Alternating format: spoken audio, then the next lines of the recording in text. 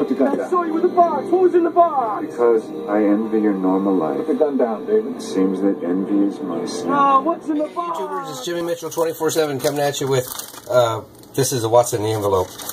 I haven't been doing a lot with Hot Wheels, I just have not had time. But the only thing I've been doing is, bu- I've, I've bought a few things, and this is one of them. I got this on eBay. Well, that's pretty good. Oh my. I need a knife.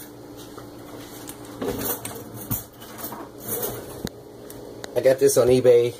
It was six dollars and fifty-one cents shipped, which is a, a decent price. It's not the best price, but it's uh, an item that's getting harder and harder to get. It's a, a Shell promo from 1973.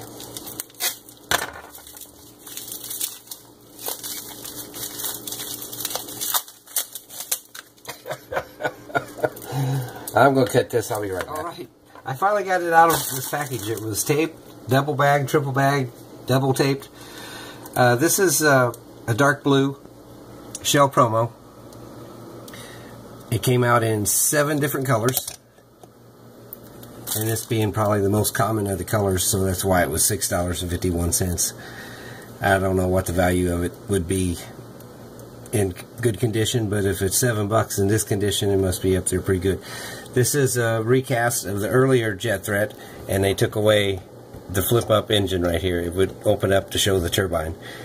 They cut cost on uh, the Shell promos because they were giving away at a Shell gas station. You bought some gas and you got a Hot Wheels car. They came in a little plastic bag, similar to that.